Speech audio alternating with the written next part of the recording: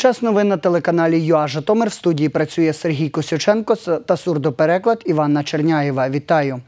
У 17-й школі Житомира завершили утеплення стін. Про це нам розповів заступник директора школи Микола Бусілков. За його словами, виконувала роботи Поліська логістична компанія за грантові кошти Міжнародної екологічної фінансової корпорації «Нефко».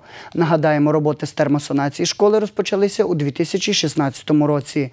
Детальніше у сюжеті Володимира Шолдрука. Вважається, що роботи, начебто, завершені, були порушені технології в е, нанесенні штукатурки. Дуже багато тріщин, які пішли по стінах, і оцього оздоблення, яке називається караєт, пішла трещина від самого е, від самої криші, пішла повністю по стіні тріщина. Вони силіконом е, типа заробили. Отут велика була тріщина, але вона все одно знову відновлюється. Оце називається робота, і це знаходиться кругом по всій, майже по всьому периметру школи.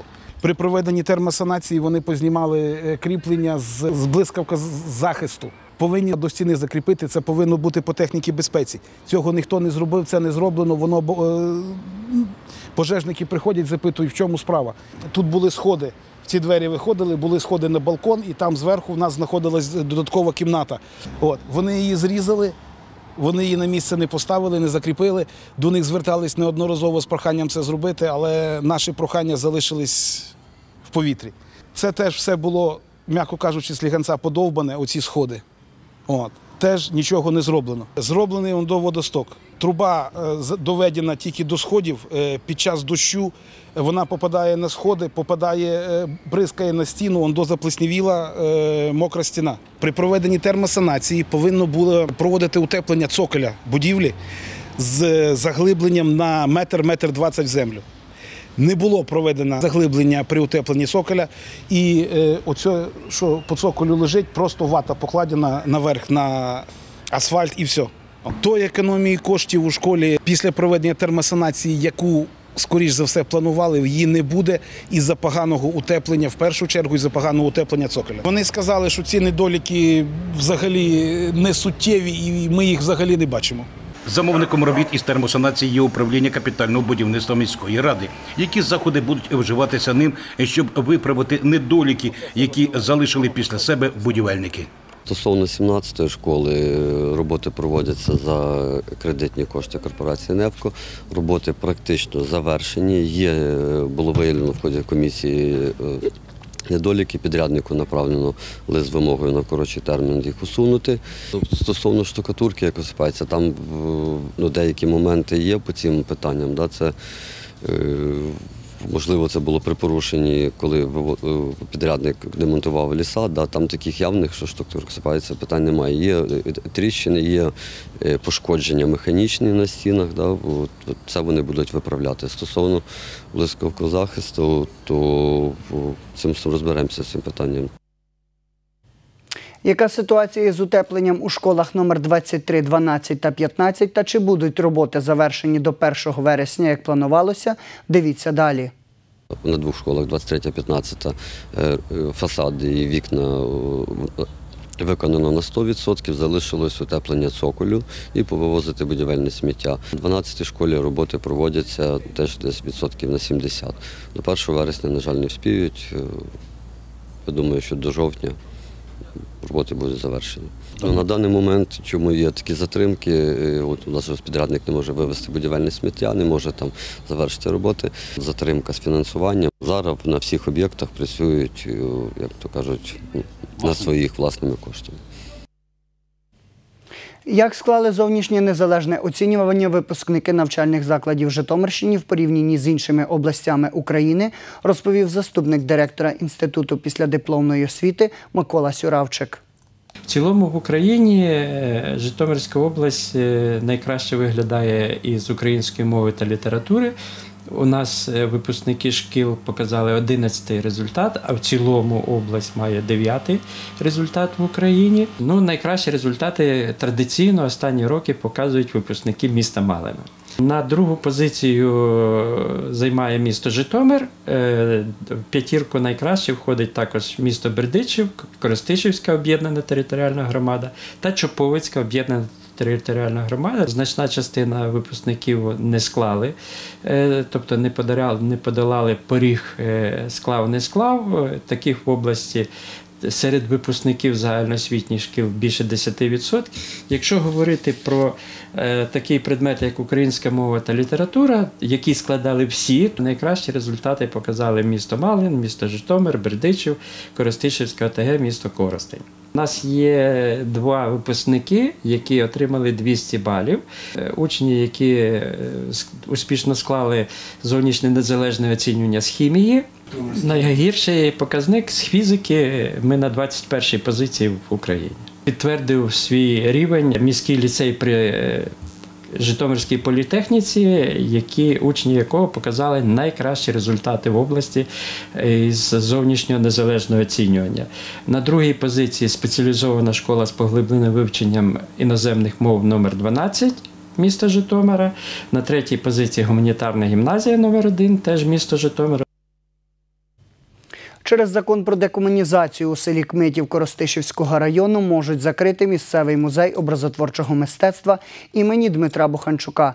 За словами депутатки обласної ради Олени Галагузи, директор закладу Ярослав Хитрий без погодження із громадою області вніс зміни у статут і перейменував музей, додавши у назву слово радянський. Керівник музею розповів, що зробив це свідомо, аби привабити до надбання закладу користувачів соцмереж. Детальніше у сюжеті Леоніда Харшана. Кмитівський музей образотворчого мистецтва був заснований меценатом Йосипом Буханчуком у 1974 році. Роботи, які тут експонуються, створені у жанрі соцреалізму у другій половині минулого століття. Експозиційна площа музею становить 1900 квадратних метрів. Тут зберігається близько трьох тисяч експонатів. Тут оригінали робіт тих видатних художників. Я навіть назву імена: Микола Глущенко, Тетяна Нилівна Яблонська, е, Віктор Орешніков, е, Овсій Мойсеєнко. Це були корифеї тих часів. Додавати слово радянський до назви музею стали у соцмережах кілька місяців тому, розповів керівник закладу Ярослав Хитрий. Ми скористалися старою назвою лише в соціальних мережах на Фейсбук-сторінці нашого музею з тим, щоб е, вузько спеціалізувати музей. Справа в тому, що музеїв образотворчого мистецтва по Україні в світі багато. Але от музей радянського образотворчого мистецтва, мабуть, лише один. Що такий вузько спеціалізований музей. Е, Друге питання критика зі сторони депутатів. Ну, бачите, їм не сподобалося слово радянський е, в назві музею. Е, Спиралися вони закон, на закон про декомунізацію, знаєте, хоча теж передивившись е, його, перечитавши статті, сказати по правді, що слово радянський там немає. Там не можна називати імені з'їздів, імені партійних діячів і таке інше. Але конкретно слово радянський там немає. Ми просто попросили їх виконувати регламент обласної ради в частині статуту музею, тому що назва не змінювалася, і принаймні кілька законів України: це закон про декомунізацію і закон про державну реєстрацію фізичних та юридичних осіб. Фактично, це власність громади, це не приватна власність, і тому ніхто не має права там робити те, що хоче. Це суперечить статуту. Ми е, запросили директора музею, начальника управління культури облдержадміністрації, голову регламентної комісії обласної ради. Я також була присутня як голова комісії з гуманітарних питань. Ми всі зібралися в кабінеті голови обласної ради Ширми Володимира Васильовича для того, щоб обговорити ситуацію.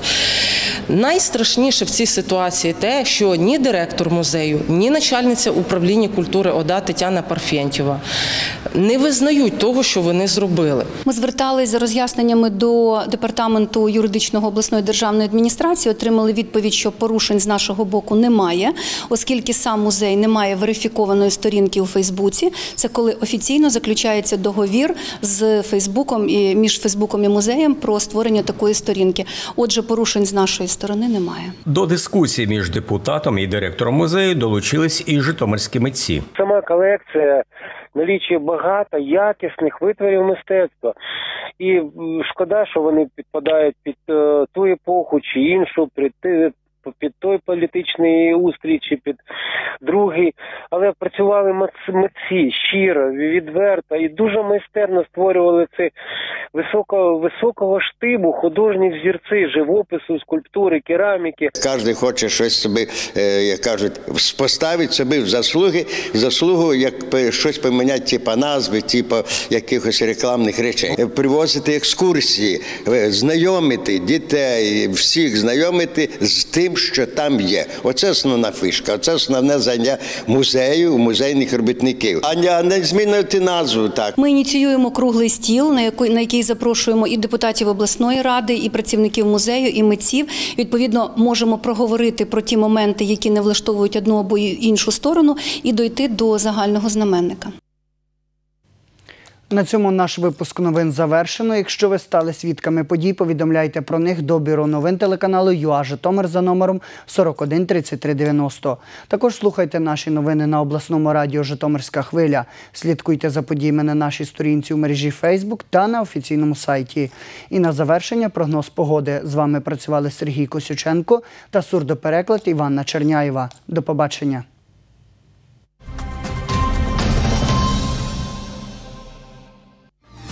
За інформацією синоптиків, завтра у Житомирі та області очікується ясна погода. Опадів не прогнозується. Вітер східний 2-3 метри за секунду. Температура повітря у Житомирі вночі від 17 до 19 градусів тепла. В день очікується від 29 до 31 градусу вище нуля. В області вночі синоптики прогнозують від 18 до 20 градусів тепла. В день від 28 до 30 градусів з позначкою плюс.